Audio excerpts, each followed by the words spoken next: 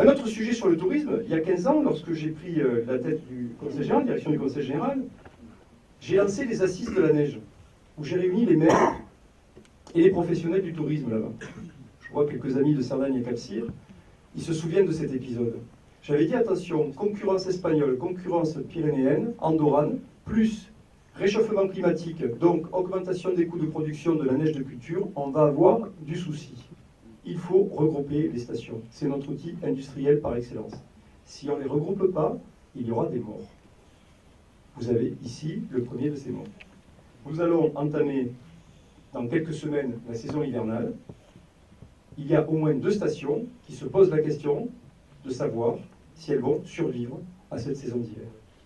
Et le jour où nous aurons perdu une deuxième, puis une troisième station, que vont dire nos élus?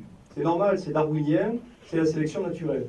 Sauf que quand on commence à perdre un certain nombre de stations, dont d'attrait, on perd de l'attractivité pour les consommateurs, et donc nous allons perdre notre position.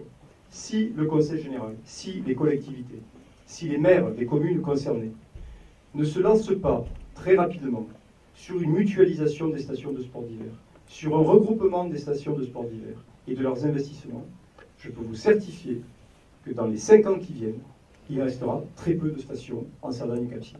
Et lorsqu'on aura tué l'outil touristique, il va falloir qu'on m'explique par quelle stratégie on va créer de l'emploi en Cerdagne et en Capcir. Ça, c'est le défaut d'anticipation dont je parle et qui est à l'origine de toutes les contre-performances que subit le pays catalan.